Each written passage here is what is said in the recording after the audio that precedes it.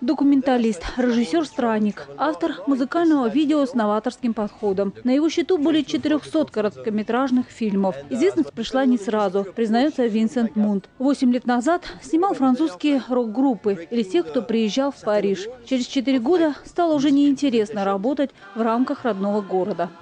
For the past four years, I've been Но последние четыре года я все больше начал путешествовать в поисках традиционной фольклорной музыки. Для меня хороший способ открывать мир – это путешествовать и документировать музыку, которая не, заг... не плохо известна или же по- почти потеряна.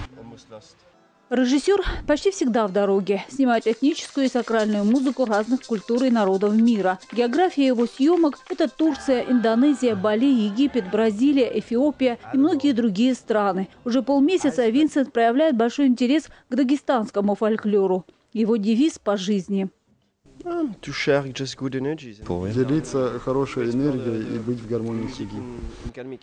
К сожалению, показать видео, которое удалось собрать в республике, Винсент нашим журналистам не смог. Встреча в кинотеатре «Пирамида» не была организована на должном уровне. По этой причине пресс-конференцию пришлось изменить. Бок о бок в течение месяца с ним находится Булат Халилов. Парень говорит, что мелкие неудачи на его творчестве совсем не отражаются. Где-то он экспериментирует с фольклором, где-то он пытается, наоборот, сохранить атмосферу, вот как оно должно быть.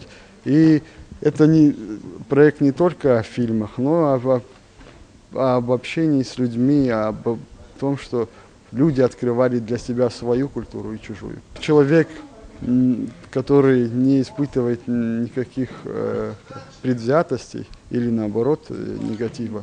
Принципиальная позиция режиссера – некоммерческая основа деятельности. Весь проект осуществляется за счет личных средств Винсента и на добровольные пожертвования. Документальные фильмы доступны для бесплатного просмотра в интернете. Следующее место его остановки – Республика Калмыкия. Сагинат Малаева, Нариман Алибегов, Руслан Касумов. Время новостей.